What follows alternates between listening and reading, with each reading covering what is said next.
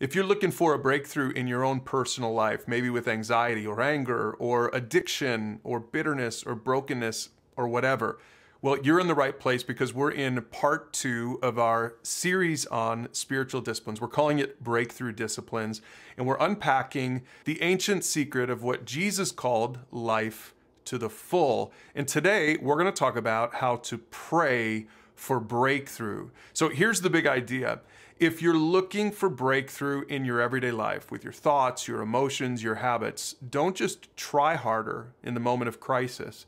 The key is to train yourself on the spiritual disciplines. And today we're going to show you how to do that in the area of prayer. Now, the reason we're starting with the spiritual discipline of prayer is because this is something that everyone can relate to everybody prays. You know, maybe for some of you, it's just a prayer of desperation when you need an A on a test or you want that job.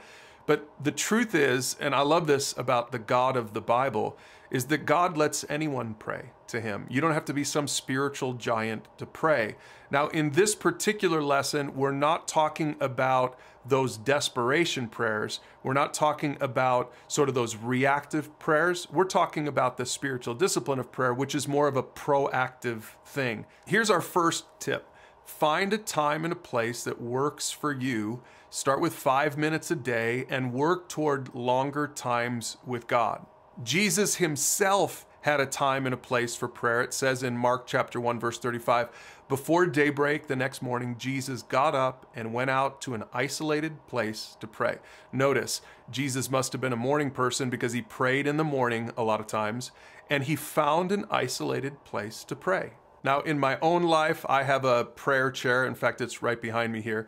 I have a prayer chair where I like to spend some time in prayer. Some people like to go out in nature, take walks to pray. There's really no right or wrong way to do it, but I think it's helpful to find a time and a place to do it so that you can begin to make it more of a habit in your everyday life. And again, for those of you who are new at this, just try praying for a few minutes a day. Thinking about praying longer than that might be overwhelming to you.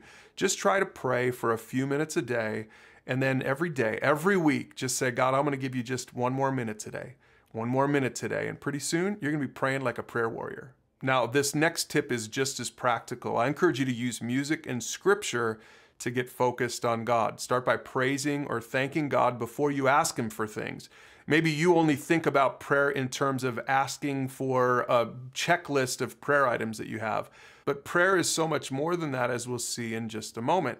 Now, I like to use music, I like to use scripture, kind of like this one here, Psalm 145. The psalmist writes, I will exalt you, my God and my King, and praise your name forever and ever. I will praise you every day.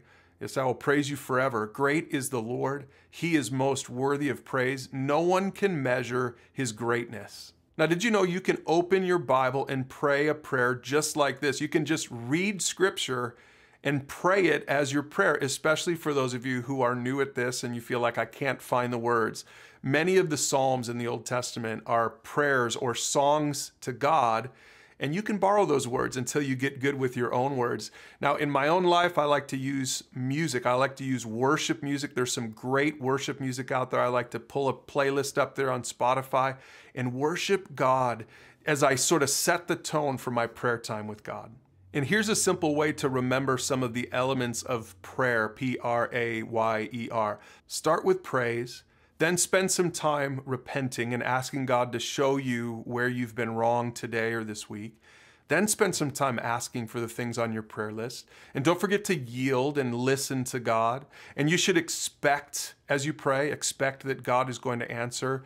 And then just repeat. Keep doing those things praise, repent, ask, yield, expect, repeat. Now, if you're like me, this next tip is going to be very helpful. If your mind wanders when you pray, don't panic. Let those thoughts help you focus on the things that need prayer in your life. John Ortberg, the author of The Life You've Always Wanted, said it like this If my mind keeps returning to a particular topic during prayer, it's probably an indication that this is the topic that is of most concern to me and I need to talk to God about. This is probably the most practical tip for me, and I wish somebody would have told me this when I was 15, 16 years old because my whole life I've struggled with staying focused as I pray, and I'm always trying to sort of get rid of those distractions in my life.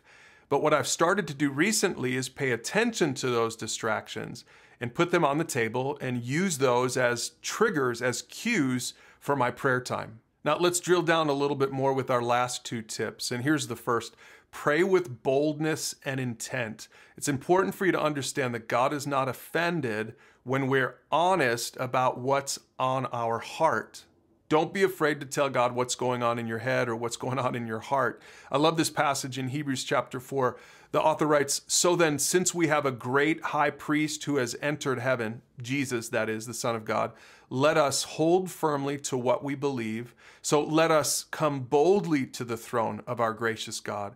There we will receive his mercy, and we will find grace to help us when we need it most. Now, here's the flip side of that point we also need to pray with humility and submission. We need to learn to listen to God and be ready to hear what's on His heart. So, yes, it's important for us to tell Him what's on our heart, and we can do that with boldness. But even more important than that, we need to hear what's on God's heart. This is the essence of prayer. This is the real attitude that we should have as we develop this spiritual discipline of prayer. Author Richard Foster writes Listening to the Lord is the first thing, the second thing, and the third thing necessary for successful intercession. And scripture itself says this in Matthew 6:10 Jesus taught us to pray, "May your kingdom come soon. May your will be done on earth as it is in heaven." Not just my will, but your will. And one more verse, we'll end with this one Matthew 26, 39. Jesus went a little further down and bowed his face to the ground, and he prayed like this My Father, if it is possible, let this cup of suffering be taken away from me. Yet I want your will to be done, not mine. This is a perfect picture of how we should approach God in prayer. God, I want your will to be done, not mine. And when we pray like that, we are sure to experience breakthrough.